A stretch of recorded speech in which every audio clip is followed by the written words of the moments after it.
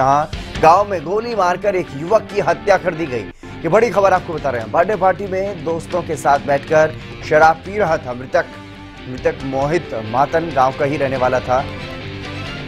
और पोस्टमार्टम के लिए शव को ट्रामा सेंटर भिजवाया गया है।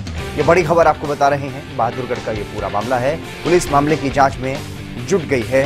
ये बड़ी खबर आपको बता रहे हैं। बहादुरगढ़ के मांडोठी गाँव का यह पूरा मामला, जहाँ पर एक युवक की हत्या मार, हत्या जो है वो कर दी गई है गोली मार करके।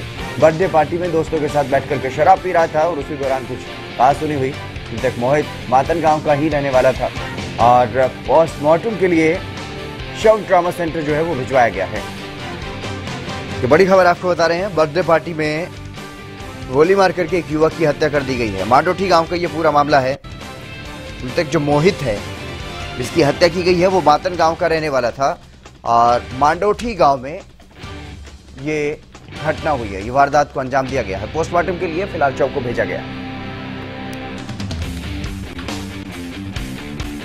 प्रवीण धनखड़ हमारे साथ जुड़ गए हैं। बहादुरगढ़ से अधिक जानकारी के साथ। प्रवीण, क्या कुछ पूरी जानकारी इस हत्या की वारदात को लेकर?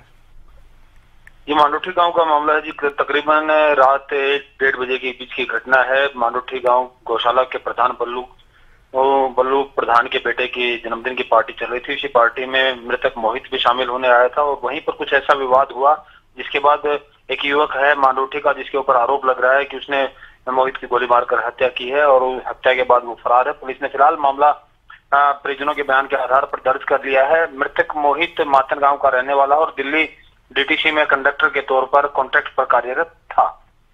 जी, इस इस बारे में कोई जानकारी अभी तक कि विवाद क्यों हुआ, किस बात को लेकर के हुआ?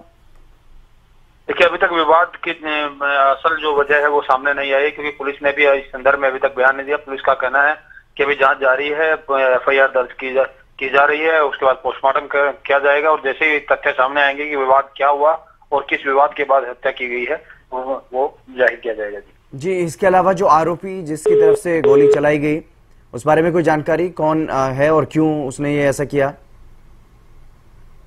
चले, लगता है संपर्क टूट गया, फिर से जुड़ने की कोशिश करेंगे, लेकिन बहादुर के मांडोठी का ये पूरा मामला है, जहाँ बर्थडे पार्टी में दोस्तों के साथ बैठ करके शराब पी रहा था मृतक और मृतक मोहित मातन गाँव का बताया जा रहा है। एक बर्थडे पार्टी थी, जिसमें इस वारदात को अंजाम दिया गया।